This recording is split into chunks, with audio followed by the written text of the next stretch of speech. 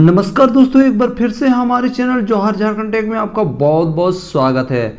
दोस्तों, जैसा कि आपको पता है कि कल ही C B S E twelve का रिज़ल्ट आया और दोस्तों, यहाँ पर से बहुत सारे छात्र हैं जो कमेंट कर रहे हैं कि, सर, टेंथ का टेंथ का रिज़ल्ट कब आएगा? कितने बजे आएगा? तो दोस्तों, इस वीडियो में आपको पूरा डिटेल बताने वाला हूँ कि टेंथ का रिज़ल्ट कब आएगा और कैसे आप इजीली देख सकते हो उस रिज़ल्ट को?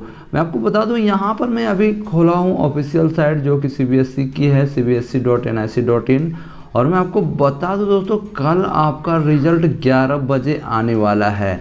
और दोस्तों, आप इसको कैसे इजीली देख सकते हो? आप इसकी ऑफिशियल साइट पे जा तो आपको गूगल में जाना है, लिखना है C B S E result dot N I C dot in और उसके बाद आपको क्लिक कर देना है। जैसे ही आप क्लिक करोगे तो देखिए यहाँ पर ऑप्शन आपको यहाँ पर आपको रिज़ल्ट यहीं पर आपको शो करेगा।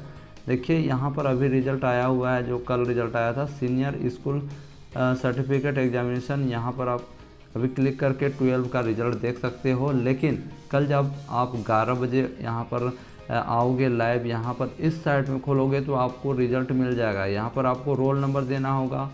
स्कूल, इंटर स्कूल नंबर देना होगा, सेंटर सेंटर नंबर देना होगा और एडमिट कार्ड का जो आईडी है, उसको यहाँ पर देना होगा, उसके बाद सबमिट आप कर दीजिए और आप अपना रिज़ल्ट कल यहाँ पर इजीली देख सकते हो। तो याद रखिएगा दोस्तों, कल 11 बजे रिज़ल्ट आने वाला है और आप लोग तैयार रहिएगा। मैं भी लाइव रहूँगा और आप लोगों को कोई दिक्कत है तो मैं रिज़ल्ट आपको शो कर दूँगा। तो दोस्तों, आज की वीडियो बस इतना ही।